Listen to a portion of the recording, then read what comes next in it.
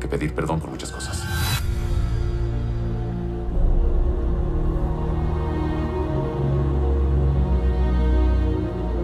Nada ha sido igual desde Nueva York.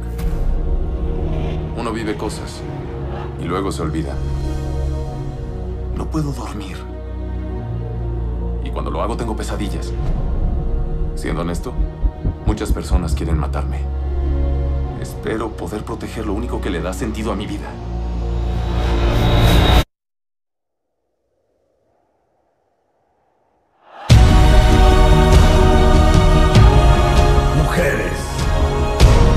Niños, ovejas.